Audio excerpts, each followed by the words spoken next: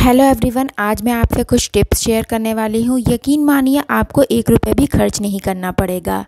एक भी टिप्स बेकार नहीं जाएगा। सारे के सारे टिप्स आपके बहुत काम आने वाले हैं।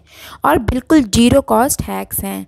तो without any delay let's begin the video देखिए, कुछ दिनों पहले मैंने बाहर से फ़ूड ऑर्डर किया था और मुझे फ़ूड के साथ मिले थे ये कंटेनर तो ये कंटेनर्स मुझे इतने अच्छे लगे ना कि मैंने डिसाइड कर लिया कि मैं इन्हें कुछ ना कुछ ऑर्गेनाइज़ करने के लिए यूज़ करूँगी।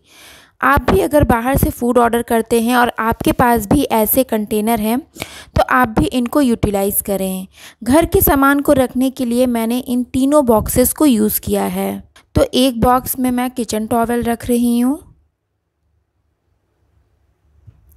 दूसरे बॉक्स में मैंने मास्क रखे हैं और तीसरे बॉक्स में मैं हैंकी रख रही हूँ। ऐसे ही आप भी इस तरह के बॉक्सेस को यूज़ कर सकते हैं, जैसे कि मास्क ज्वेलरी मेकअप का सामान पॉली बैग्स रखने के लिए। है ना ये? ज़ीरो रुपीज़ में बेस्ट ऑर्गेनाइजेशन हैक्स क्या आपके पास भी बहुत सारी बैंगल्स ऐसी हैं जो आप नहीं पहनते हैं? तो आप भी अपनी बैंगल्स को किचन में यूज़ कर सकते हैं एज अ ऑर्गेनाइज़र इस बैंगल के साथ की सारी बैंगल टूट गई थी तो इसको मैंने यूज़ किया टॉवल हैंग करने के लिए. आप कोई भी बैंगल्स किचन या बाथरूम के टॉवल हैंग करने के लिए यूज़ कर सकते हैं और आपको कोई भी टॉवल ऑर्गेनाइज़र परचेज़ करने की ज़रूरत नहीं पड़ेगी. हमारे किचन में जगह की कमी होने की वजह से हम अपने वॉल्स पर इस तरह के हुक्स का यूज़ करते हैं और इस तरह के हुक्स को लगाते हैं ताकि हम यहाँ पर ज़्यादा से ज़्यादा चीज़ें हैंग कर सकें। बट होता ये है कि एक हुक में हम बड़े मुश्किल से एक या दो चीज़ें ही हैंग कर पाते हैं और अलग अलग सामान को यूज़ करने के लिए हमें बहुत सारे हुक का यूज़ करना पड़ता है। अब एक ही हुक में तीन से चार चीज़ें कैसे हैंग कर सकते हैं? आप इस तरह की रस्सी ले लीजिए, जो भी आपके पास अवेलेबल हो। अलग अलग साइज़ के कट कर लीजिए। जो भी सामान आपको हैंग करना है, उसमें बाँध दीजिए। मैंने तीनों में ये अलग अलग रस्सी बाँध दिया है और तीनों के साइज़ अलग अलग रखे हैं। किसी को छोटा और किसी को बड़ा। अब देखिए ईज़िली एक साथ सारी चीज़ों को एक हुक में हैंग कर दिया है। इंडियन फ़ूड में सबसे ज़्यादा इंपॉर्टेंट है रोटी और इसको बनाने में हमारा सबसे ज़्यादा टाइम जाता है। तो जल्दी जल्दी रोटी कैसे बना सकते हैं? ये एक टिप मैं आप लोगों के साथ आज शेयर करूँगी। नॉर्मली हम सिंगल बॉल्स को लेकर के रोटी बनाने लगते हैं, लेकिन अगर आपको जल्दी जल्दी रोटी बनाना है तो आपको ये डबल डबल बॉल्स लेनी पड़ेंगी।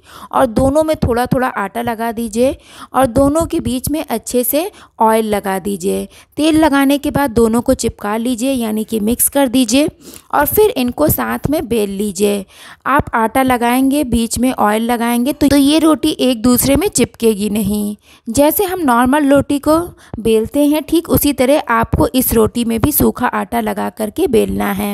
इन दोनों रोटियों को साथ में बेल लीजिए फिर आप तवे पर डाल दीजिए और फिर आपको रोटी को सेकना है जैसे आप नॉर्मल रोटी को सेकते हैं। देखिए मैंने तो इस पर ऑयल लगा दिया है और पराठे की तरह बना लिया है क्योंकि मैं अपने बेटे के लिए इसे बना रही थी और उसे ऐसे ही अच्छा लगता है।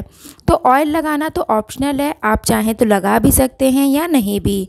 दोनों साइड से आपको सेकना है। जैसे ये दोनों साइड से सीखने लगेगी, अपने आप ही ये सीपरेट हो जाएगा। और आप इनको सीपरेट करके फिर दोनों को पलट करके सेक लीजिए। तो एक ही टाइम में आपने दो रोटी बेल ली और एक रोटी के टाइम में आपने दो दो रोटियाँ साथ में बना ली। है ना? ये हैक सबसे अच्छा और इससे आपका बहुत सारा टाइम सेव होगा। अब देख लेते हैं ये कद्दूकस, जिसे कुछ लोग ग्रेटर भी कहते हैं। इसको क्लीन करना है मुझे और इसमें धार भी दिलाना है। इसको धार देना बहुत ही मुश्किल होता है क्योंकि बहुत दिन तक यूज़ करने के बाद इसका धार जो है ख़त्म हो जाता है। तो अब हम जो करेंगे तो मैंने इसमें एक चम्मच टोमेटो सॉस लगा दिया है और मैंने ले लिया है एल्यूमिनियम फ़ाइल का एक छोटा सा टुकड़ा। अब इस एल्यूमिनियम फ़ाइल को इस पर हम घिसेंगे। जब हम किसी चीज़ को इस पर ग्रेट करते हैं तो जो ग्रेट ग्रेटर होता है ना, वो क्लीन हो जाता है और ग्रेटर में धार भी आ जाता है। तो अब हम ग्रेटर को क्लीन कर रहे हैं। चारों तरफ़ आगे पीछे अच्छे से रब करेंगे, तब ये क्लीन हो जाएगा। तो ये टिप्स ना बहुत ही असरदार है। तो आप लोग इसे एक बार ज़रूर ट्राई करिएगा। अब मैं आपको दिखा रही हूँ धो करके। तो मैंने इसे प्लेन पानी से धो लिया है। देखिए ये कितना क्लीन हो गया है और इसमें धार भी आ चुका है। अब देख लेते हैं नेक्स्ट स्टेप तो देखिए, ये नमक है तो नमक में भी मॉइस्चर आ जाता है, जिससे कि नमक गल जाता है, या फिर पानी पानी सा नमक में आ जाता है। खासकर ये दिक्कतें बरसात के मौसम में ज़्यादा आती हैं। तो इस तरीके से लौंग डाल करके रखेंगे ना तो नमक में नमी नहीं आएगी, और नमक में मॉइस्चर भी नहीं आएगा, और गलेगा भी नहीं। तो आप भी ऐसे ही रखा करिए। तो friends so that all for today's video if you enjoyed watching do press the like button. And if you are watching for the first time consider subscribing and keep watching. Bye bye